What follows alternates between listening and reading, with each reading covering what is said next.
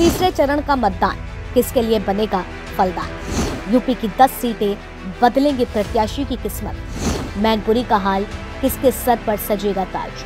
रिवायत क्या बदल देगी मैनपुरी की सियासत? देश भर में लोकसभा चुनाव के महापर्व को मनाया जा रहा है, जिसमें आज देश भर के भीतर 11 राज्य और केंद्र शासित प्रदेश की तिरानवे सीटों पर मतदान हो रहा है, जिसमें असम, बिहार, छत्तीसगढ़, गोवा गुजरात, कर्नाटक, मध्य प्रदेश, महाराष्ट्र, पश्चिम बंगाल, दादरा नागर, हवेली, दामन दीव और उत्तर प्रदेश के 10 सीटें शामिल हैं, जिसमें बात हम उत्तर प्रदेश की इन्हीं 10 सीटों में बनी हॉट सीट मैनपुरी की करेंगे।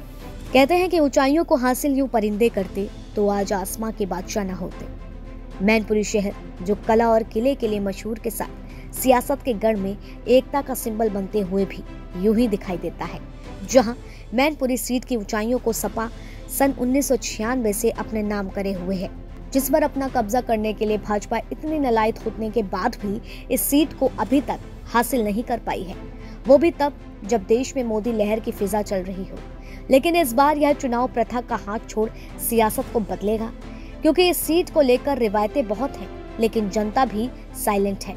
प्राथमिकता बतौर जनता किसको देख रही है? यह भी इस सीट पर ज़्यादा प्रतिशत में होने वाले मतदान इसको सुनिश्चित करेंगे। जहाँ भाजपा की ओर से कांटे की टक्कर देने वाले योगी सरकार के मंत्री जयवीर सिंह अपनी किस्मत को अजमा रहे हैं।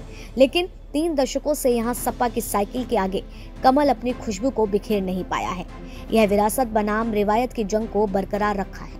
मैनपुरी एक ऐसी सीट है जिसे सपा की मजबूती से ज़्यादा नेताजी की कर्म भूमि और उनको धरती पुत्र कहलाने का मौका देती है। समाजवादी पार्टी दावा ठोकती है कि यह सीट मात्र गढ़ ही नहीं, बल्कि यहाँ के विकास के नयाब लकीरें सपा राज में ही खिंची हैं। यहाँ की जनता नेताजी से बेनतहा मोहब्बत करती है और यही वजह है कि नेताजी के ना होने पर भी यह सीट उनके बहू के नाम होगी। लेकिन जब हम भाजपा की बात करते हैं तो मोदी गारंटी पर हो रहे चुनाव तीन दशक की जंग में जीत क्या भाजपा की करा पाएँगे या नहीं, यह भी देखना दिलचस्प रहेगा। क्योंकि जहाँ बीजेपी का नारा है, अब की बार 400 पार का। तो दूसरी ओर उन सीटों को अपने नाम करना, जहाँ विपक्ष मोदी लहर के आगे भी उनके खेमे में जाने नहीं दिया। मैनपुरी की जाति समीकरण को समझें तो पिछड़ी वोटर की यहाँ ज़्यादा बहुलता है। शाक्य और ठाकुर वोटर भी अच्छी खासी तादाद में है। यादव मतदाता यहाँ तकरीबन तीन दशमलव पाँच लाख के आसपास हैं। ठाकुर मतदाता यहाँ पर एक लाख के पचास हज़ार तकरीबन है।